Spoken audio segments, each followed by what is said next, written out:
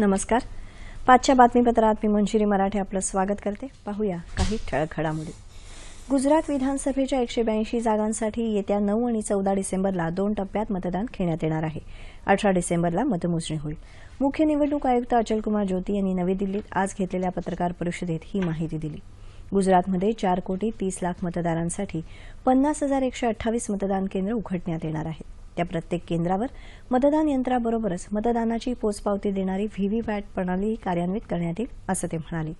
सुरक्षित आणि पारदर्शक मतदान प्रक्रियेसाठी आवश्यक ते सर्व उपाय केले जात असून सीसीटीव्ही सारख्या तंत्रज्ञानाची मदत घेतली जाणार आहे.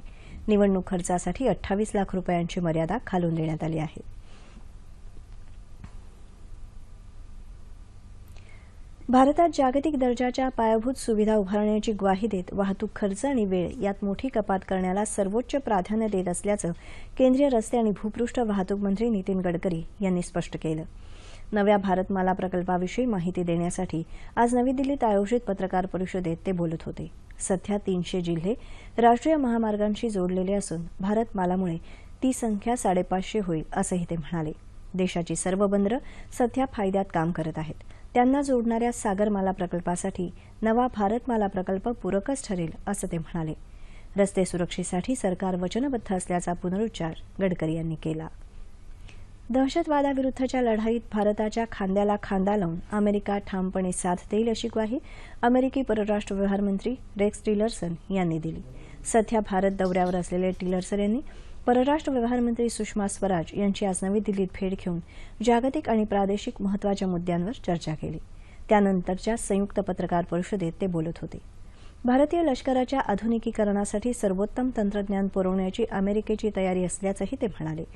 दहशतवादाला थारा देणाऱ्यांची गय केली जाणार नाही असा इशाराही टिलरसन यांनी दिला.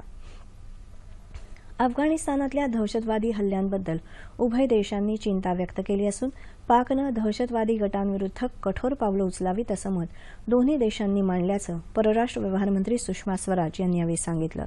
एच वन बी व्हिसासह अन्य महत्त्वाच्या मुद्द्यांवर चर्चा झाल्याचंही त्या म्हणाल्या. बिनचूक माहिती असलेल्या शेतकऱ्यांच्या खात्यांवर उद्यापासून कर्जमाफीची रक्कम जमा करावी असे निर्देश मुख्यमंत्री देवेंद्र फडणवीस यांनी आज दिले. कर्जमाफीची रक्कम जमा करताना येणाऱ्या तांत्रिक अडचणींचा आढावा घेण्यासाठी आज मुंबईत मुख्यमंत्र्यांच्या अध्यक्षतेखाली राज्यस्तरीय बँकर्स समितीची बैठक झाली. त्यावेळी ते बोलत होते. मुख्यमंत्र्यांनी व्हिडिओ कॉन्फरन्सिंगच्या माध्यमातून सर्व जिल्ह्यातल्या सहकारी बँका आणि सहकार उपायुक्तांशी संवाद साधत त्यांच्या अडचणी जाणून घेतल्या. अठरा ऑक्टोबरला साडेआठ लाख शेतकऱ्यांची ग्रीन लिस्ट तयार करण्यात आली. मात्र त्यात एकाच व्यक्तीच्या नावानं दोन खाती यासारख्या त्रुटी लक्षात आल्या. त्यातच दिवाळीच्या सुट्ट्यांमुळे शेतकऱ्यांच्या खात्यात अद्याप कर्जमाफीची रक्कम जमा झालेली नाही. या सर्व बाबींवर बैठकीत चर्चा झाली. बँकांनी माहिती तंत्रज्ञान विभागाच्या संपर्कात राहून अडचणी दूर कराव्या अशी सूचना मुख्यमंत्र्यांनी दिली. निकषात बसणारा एकही शेतकरी कर्जमाफी योजनेपासून वंचित राहणार नाही अशी ग्वाही मुख्यमंत्र्यांनी यावेळी दिली. या बैठकीला सहकार मंत्री सुभाष देशमुख आणि वरिष्ठ अधिकारी उपस्थित होते.